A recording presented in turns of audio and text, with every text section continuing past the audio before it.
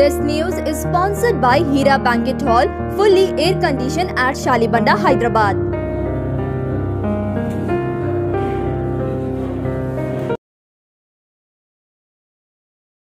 Hyderabad fire broke out at a store located under Panjagutta flyover.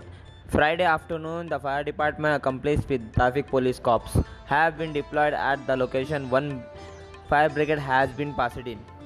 आपका स्वागत वाले मैं और रिपोर्टर शेख अहमद कैमरामैन मोहम्मद शौकत के साथ आज देख सकते हैं हम मौजूद है पंजाबुट्टे पे हमारे को यहाँ इतला मिली कि यहाँ आग लग, चुकी थी पंजाबुट्टा फ्लाईओवर के पास हम आके जब मालूम करें तो यहाँ मालूम हुआ कि जो बलिया की तरफ़ से ये जो फ्लाईओवर के ऊपर जो डेकोरेशन किया गया था जो लगाया गया था जो कि वो पूरा जल के खाक हो चुका है माली जानी नुकसान कुछ नहीं हुआ हम पूरी तफसील से मजीद तफसीत मालूम करने के बाद हमें पता चला ये आग लगने की वजह शॉर्ट सर्किट है, ये इलेक्ट्रॉनिक डिपार्टमेंट का काम है।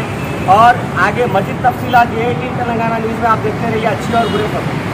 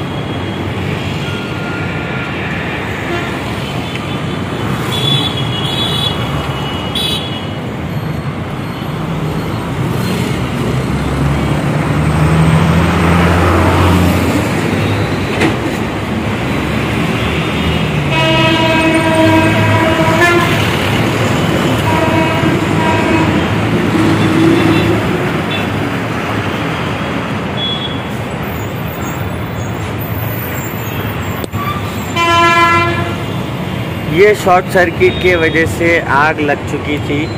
यहाँ देख सकते हैं आप।